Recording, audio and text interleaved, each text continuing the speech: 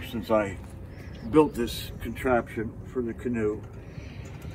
And the idea was to be able to have it very stable with an outboard motor on so that you didn't end up tipping over. And at the same time, I wanted something that I didn't have to permanently damage the canoe by drilling holes in it or putting hardware on the canoe. So this thing all just clamps together in pieces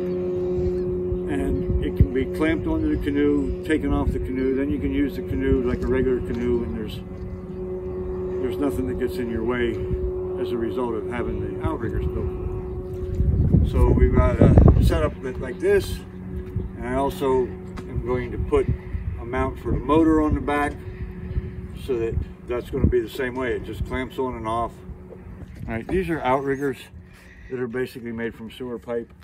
The first set I built were, were much longer and the pipe was bigger diameter and they were so long and cumbersome that they ended up when you weren't using the motor, they ended up being in your way.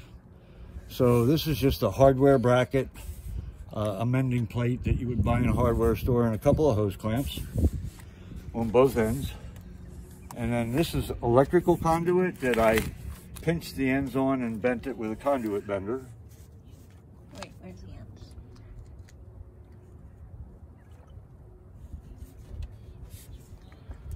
And then you put a hole in here, I, I take it? Put a hole in it so that it lines up with the hole in these brackets. You just slide up there. What are you putting in? This is a little pin with holes in it, clevis pin.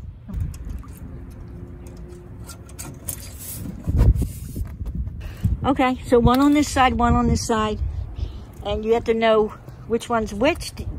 Yes, they're they're built slightly different size, so the one for the front is a little bit different size from the one in the back. Right, the conduit's mounted to the pieces of wood, and then there's bolts and screw-on knobs underneath. Now, this is just a thing that I made to help keep the water from the motor when it's running from splashing too much water into the canoe in the back.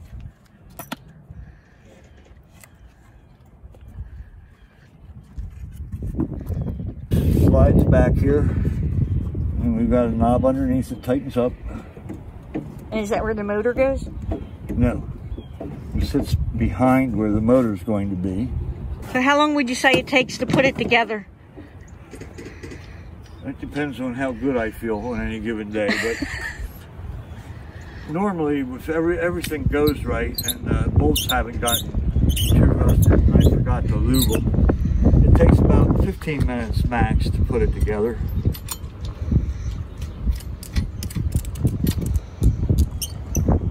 And again, it's made with two pieces of steel and then these threaded knobs that will lock it in place once it's where I need it to be. Just moved the boat to the water. Now you got the motor. What do you got here? I have a Honda four-stroke, two horsepower gasoline outboard. This is going to clamp onto the bracket.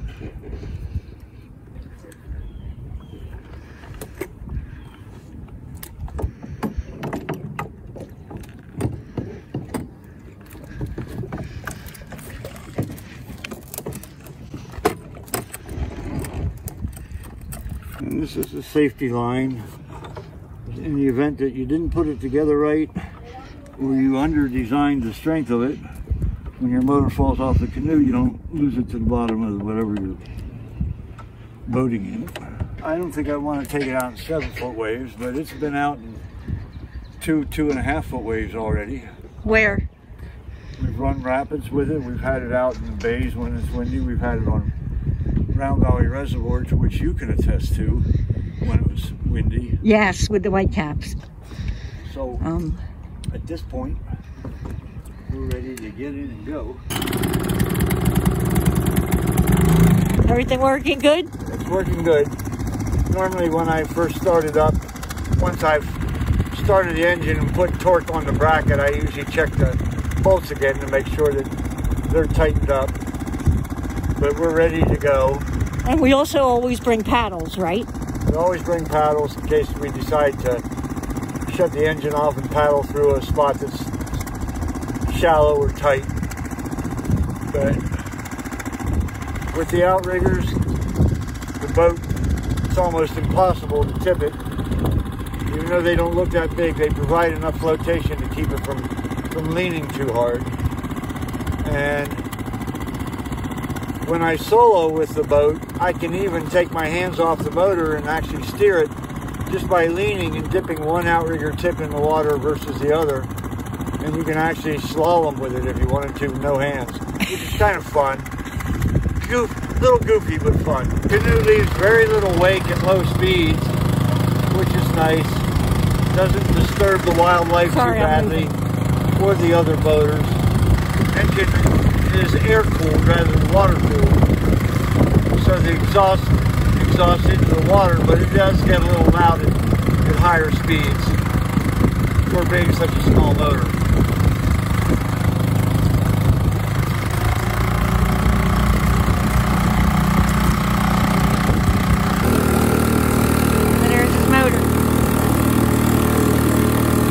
Doesn't hit the pontoons. The pontoons are right here. And we're good. And all the water. All right, so I'm going to stand up. You'll see. Standing up. Okay, I really wasn't showing off. I just wanted to show you how stable the boat was. So a lot of times, um, I just stick my feet up and lean back. A lot of times I'll be holding the dog. So like I said, it's very stable. Cut the gas off to the motor. So right now I'm just letting it burn the rest of the gas that's in the carburetor until the carburetor runs dry and then it'll shut itself off. Unfortunately, the original motor mount that I built for this motor got destroyed trying to launch it in some heavy winds up in Round Valley Reservoir. So I've since built this motor mount. The first one was a little too flimsy, so I went with a heavier piece of steel, which I thought would be enough to do the trick, but obviously I gotta look at it a little more thoroughly. That metal it. right there that's bowed. Yeah, the metal where the motor's hanging over the side is is bending, and I want it to be straighter. And Not have didn't as you much say this kicks up a lot of water on you? Yeah, it does. I have a solution to that. I just haven't implemented it yet. An umbrella? No, but sort of like the uh, the things that they put on bird feeders so the squirrels can't climb the poles. It'll be some sort of like look like an umbrella, but it'll go around the motor shaft to keep the water from going up the shaft and getting in. I usually help take this stuff off, but I have a more important job now. Made out of four inch pipe. They're mounted on a canoe. The board sits on top of the boat, and this goes underneath of the aluminum gunnel, and then when you tighten this up, it locks it in place. And that's all that does. So is that big sheet of metal like a washer, basically? Basically, yeah, except it gives it a little more surface area and a little more grab. So that is basically the gear. It's what? One, two, three, four, five, Six pieces plus the motor. six pieces plus the motor. There is a link in the bottom in the description page to uh, the engine. I'll get a close up of the engine. It is a Honda four stroke. And there it is. That's all the gear. This is Rick in Round Valley Reservoir.